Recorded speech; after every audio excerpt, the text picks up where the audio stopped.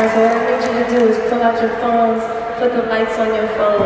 Let's light up this whole building right here. Because right here we're talking about faith, we're talking about hope, we're talking about possibility. And it's ours. Look how beautiful you are.